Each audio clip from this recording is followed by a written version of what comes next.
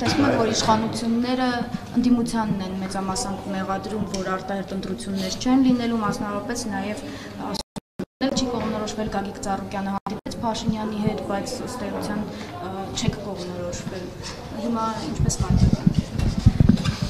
Ես հերթական անգամ պետք է ցավով արձանագրեմ, որ իշխանությունները տեղի ունեցող թե ողբերգության, թե մեր կորուստների, թե կոնկրետ ներքաղաքական օրակարգում հասունացած ճգնաժամի գործում իրենց պատասխանատվությունը եւ իրենց մեղավորությունը գիտակցելու փոխարեն հերթական անգամ փորձում են այսպես մեղավորներ փնտրել եւ գտնել եւ բնականաբար ամեն անգամ այսպես սլակները ուղում են ընդդիմության ուղությամբ։ Բակցությունը հիշողության կորստի հետ կապված խնդիրներ ունեն եւ պարզապես չեն հիշում թե ինչ է խոս խորհրդարանական արտահերտ ընտրություններ անցկացնելու հարցի հետ կապված, մասնավորապես թե ինչ հայտարարություններ են հնչել այդ հարցի հետ կապված, սակայն կարող եմ թարմացնել իշխանությունների հիշողությունը նշելով, որ կոնկրետ Բարգավաճ Հայաստան խորհրդարանական ընդդիմադիր խմբակցություն նշել է, որ խորհրդարանական արտահերտ ընտրություններ կարող են անցկացվել բացառապես Նիկոլ Փաշինյանի հրաժարականի եւ անգամ նրա որպես ժամանակավոր պաշտոնակատար հանգամանքում եւ պարագայում, որովհետեւ մենք Նիկոլ Փաշինյանի գլխավորությամբ անցկացվելիք խորհրդարանական ընտրությունների հարցի հետ կապված բնականաբար ունենք շատ լուրջ վերապահումներ եւ լուրջ կասկածներ։ Եթե իշխանությունը կամ իշխանության առանձին ներկայացուցիչներ չունեն բավարար չափով ազնվություն, ազնվորեն խոստովանելու, որ ոչ թե չկա խորհրդարանական ընդդիմության աջակցություն կամ չկա հանրային պահանջ արտահերտ ընտրություններ անցկացնելու, պարզապես խոստովանեին, որ ուղակի Նիկոլ Փաշինյանը պատրաստ չէ հրաժարական տալու, պատրաստ չէ զրկվելու այսպես կառավարության ղեկավարի սահմանված բոլոր բարիքներից, պատրաստ չէ հրաժարվելու կառավարական առանձնա նակվելու բերկրանքից, եթե իրենք իրենց մեջ այդքան քաջություն եւ համարձակություն չեն գտնում դա խոստովանելու, ուրեմն ընդդիմությանը թող չփորձեն այսպես մեղավոր կարգել, որովհետեւ թե Բարգավաճ Հայաստանը եւ թե Լուսավոր Հայաստանը բնականաբար հայտարարել են խորհրդարանական ընտրությունների հետ կապված իրենց դիրքորոշումը, նշելով, որ թիվ 1 նախապայմանը դա Նիկոլ Փաշինյանի հրաժարականն է։ Կարողանում գտնել օրինակ կայքեկնացում են Վասկեն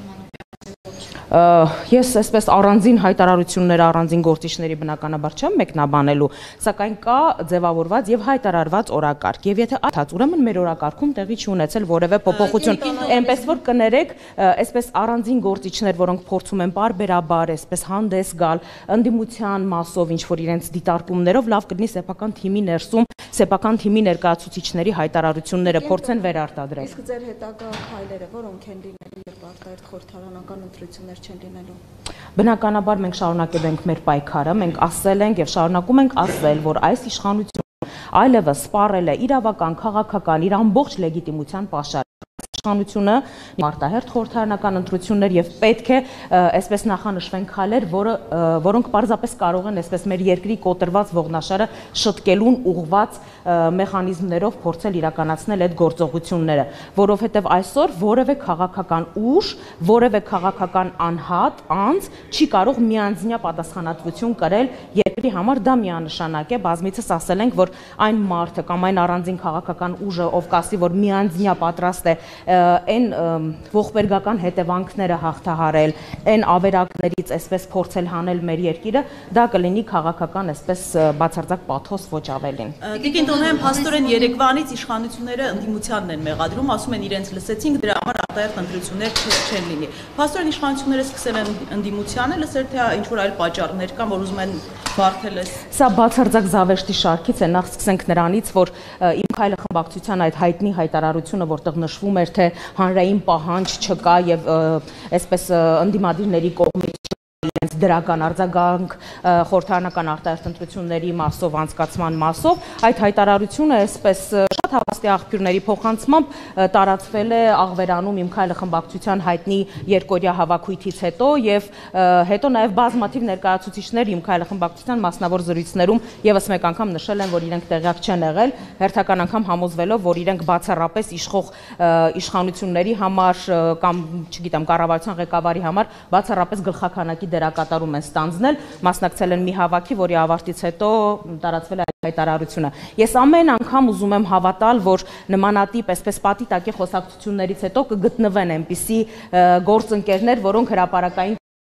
որ երբ որ պատերի տակ բողոքում են, որ նոյեմբերի 9-ի կապիտուլյացիոն փաստաթղթի մասին տեղյակ չեն եղել, կամ դրանից հետո իրենց անունից տարածված հայտարարությունների մասին տեղյակ չեն եղել, բայց ամեն անգամ իմ լավատեսությունը այսպես հոդս է ցնդում, որտեղ այդպիսի ազնիվ մարդիկ այսպես չեն հայտնվում, էլի։ Իսկ ինչ վերաբերվում է, երբ իշխանությունը կամ իմ քայլը խմբակցությունը ասում է, որ հանրային պահանջ չկա ձևավորված արտահերթ խորհրդարանական ընտրությունների, ինչա հետաքրքիր է թե ինչպես է պարզվել, որ հանրային պահանջ կա, թե չկա մարզերում կներեք իրենց կուսակցության գրասենյակներում անցկացված այսպես հավաքների ժամանակ բնականաբար այլ օրակարգ չէր կարող քննարկվել բայց ես այլ կարծիք ունեմ այլ տեսակետ ունեմ այո այլ տեսակետ ունեմ այս հարցի հետ կապված տպավորություն է որ ադրբեջանում է այդ հանրային ները իրականացվել եւ Ադրբեջանում հանրային պահանջ չկա Հայաստանում ընտրություններ անցկացնելու հաշվի առնելով թե ադրբեջանական մամուլում եւ սոցիալական ցանցերում ինչ մեծ ողջավորություն առաջացավ իմ քայլը խմբակցության Հայաստանում արտահերտ ընտրություններ չանցկացնելու վերաբերյալ հայտարարությունից հետո։ Դուք պնդում եք, որ իմ քայլի հիմքական պատգամավորներ, ովքեր տեղյակ չեն եղել տարածված հայտարարությանը։ Ես եւս մեկ անգամ վերահաստատում եմ, որ տարբեր խոսակցություններ այս պահին էլ ընթանում են, որ բազմաթիվ ներկայացուցիչներ իմ քայլը խմբակցության այո տեղյակ չեն եղել, որ նմանատիպ հայտարարություն է տարածվելու։ Իշխող ուժից հակադարձում են, ասում են ընդդիմությունը գիտի վստահ է, որ չի կարողանա անհրաժեշտ ձայներ հավաքել, այդ պատճառով չեն ցանկանում վախենում են գնալ արտահերտ ընտրության, եթե վստահ լինեն թեին անպայման կմասնակցեին։ Դուք ինչպես կհակադարձեք։ Ես կարող եմ ասել, որ իշխանությունը թերևս կամ իշխանության ներկայացուցիչները թերևս իրենց սեփական վախերի մասին են խոսում, որ իշխանությունն է վախենում եւ դրա համար բնականաբար ունի բավարար հիմքեր կարծելու, որ իրենք վստահաբար չունեն հանրության աջակցությունը եւ մեծամասնություն կազմելու մասին խոսք անգամ լինել չի կարող։ Ես կարող եմ խոսել Բարգավաճ Հայաստան կուսակցության մասին, որ եթե 2018 թվականի արտահերթ խորհրդարանական ժամանակ երբ հեղափոխության հանրակվեր պարզապես տեղի ունենում եւ ոչ թե խորհրդարանական ընտրություն, երբ որ այդ այսպես ասեմ, հա, ողքեվորության, հետ հեղափոխական էյֆորիայի պայմաններում Բարգավաճ Հայաստան կուսակցությունը 100 հազարից ավելի հայրենակիցների վստահության քվե ստացավ եւ խորհրդարանում այսպես մեծությամբ ամենամեծ ընդդիմադիր խմբակցությունը դարձավ. Վստահաբար մենք որևէ վախենալու կամ կասկածելու բան չունենք. Մենք ունենք մեր համակիրների բանակը մենք ունենք մեր ընտրողներին եւ առավել քան վստահ եմ որ հետ հեղափոխական տարիներին Բարգավաճ Հայաստան կուսակցության այսպես վարկանիշը շեշտակիորեն աճել է այնպես որ մենք վստահաբարի տարբերություն իշխանությունների որևէ վախենալու բան չունենք Տիկին Տոնոյան, ինչ այսպես իշխանությունը Ությունը միմյանց մեղադրում են, խոսվում է այսպես իշխանափոխության վերաբերյալ, մենք տեսնում ենք, որ մտահոգիչ գործընթացներ են տեղ ունենում սահմանին, մարդկանց անվտանգության հետ կապված այդ մասին նաև մարդու իրավունքների պաշտպանն է հայտարարություն տարածել, այսինքն դիսկուրսը ընտրություն անել չանելու շուրջ է, իսկ մինչ այդ մենք շարունակում ենք կորուստներ ունենալ։ Այս պարագայում ինչ քայլեր պետք է արվեն։ Հանրահավաքից զարգ, որտեղ մենք տեսնում ենք խորհրդարանի այսպես հնարավոր չի այսպես օգտագործել։ Ես ես հասկացա, այն որ Հայաստանի անվտանգությունը այլևս լրջագույն կասկածի տակ է, այն որ ապագայում միգուցե Արցախի ճակատագիրը սպառնա նաև Հայաստանին, այս մասին դեռևս ամիսներ առաջ կապիտուլյացիայի փաստաթղթի ստորագրումից անմիջապես հետո խոսել է Բարգավաճ Հայաստան կուսակցության նախագահ Գագիկ Ծառուկյանը։ Դուք գիտեք, որ մենք բազմաթիվ այցեր ենք ունեցել Սյունիքի Գեղարդու մարզեր։ Մենք տեղում տեսել ենք այն մտահոգիչ իրավիճակը, որի մասին դուք հիմա խոսում եք, որի մասին բարձրաձայնում է մարդու իրավունքների պաշտպանը եւ մենք տեսել մեր այս բարձրաձայնումներին ի պատասխան ընդհանրապես մանիպուլյացիաներ, ընդհանրապես հանրության աչքերին թոս փչելու իշխանության կողմից իրականացված փորձեր, որովհետև ի տարբերություն մեզ, ովքեր հենց նույն ճակատենում, շուրնուխում պրոտանում, սոտքում տեսել ենք այսպես 10 մետր հեռավորության վրա ադրբեջանցիներին, այո Դավիթ Բեկում նաև ադրբեջանցի զինվորների այսպես տեղակայված իրենց ստորաբաժանումները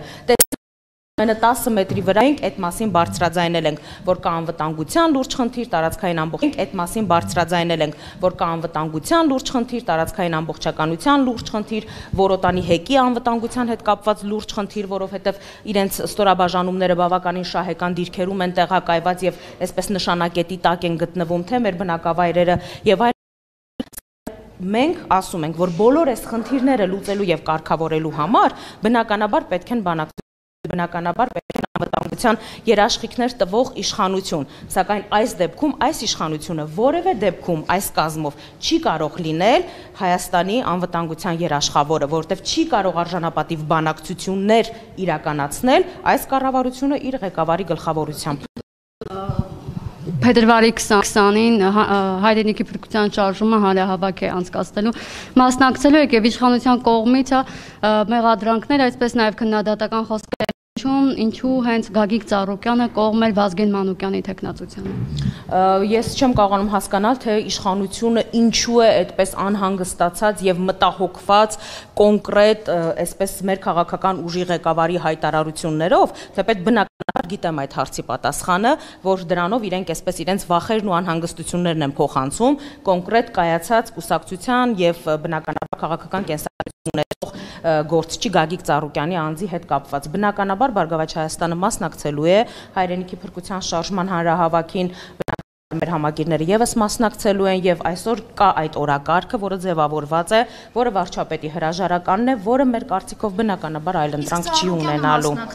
Այս պահին չասեն, տեսեք Ծառուկյանը չի մասնակցում։ Նախորդ անգամներին օրինակ չկա։ Նախորդ անգամների հետ կապված բնականաբար դուք գիտեք, թե տևական ժամանակահատվածի ինչ գործընթաց էր, երբ այսպես ամեն մասշտաբային միջոցառումից առաջ, հանրահավաքից առաջ, այո, իրավապահների կողմից պարոն Ծառուկյանը լրացուցիչ այսպես հարցակնության էր կանչվում այս կամ այն քրեական գործի շրջանակներում անկեղծորեն, քանի որ նախորդին է հայտարարվել, առիթ չեմ ունեցել պարոն Ծառուկյանի հետ խոսելու այս հանրահավաքին մասնակցության հետ կապված վստահաբար կտեղեկացնենք մենք լրատվական միջոցների։ Շնորհակալ եմ։ Խորհրդանական ընտրություն